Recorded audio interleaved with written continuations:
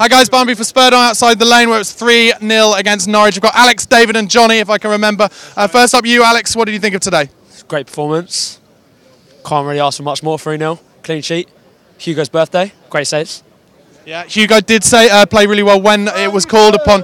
Uh, I think today we were all a little worried we might slip up Alan Newcastle because we had a chance again to cement that fourth place, but we didn't. Have we learned from that mistake, or was it just that Dembele was back in the side where he wasn't playing against Newcastle? No, I think we, we, we got that first goal and we pushed on for the second, which we didn't do against Newcastle. That's what we needed to do. Harry was so sharp today; it was amazing up front. Two great goals in the first half. We looked really strong. The second half, was one-way traffic. They weren't even in it. They weren't. They weren't there at all. They showed a threat in the first half, but not the second half. It was all Spurs. Yeah, absolutely. Couldn't agree more. And Johnny, come on in nice and tight, nice and tight just there. Uh, we've got Watford coming up away and then Everton away. Two difficult away games over New Year. What are you expecting from those?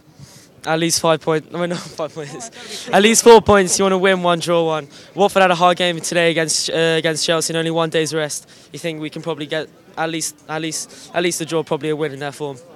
There you go. You heard it here first, guys. Let us know what you thought of their comments in the comment section below. Don't forget to subscribe to the channel on YouTube and follow us on Twitter at Spurred on TV. Cheers, boys.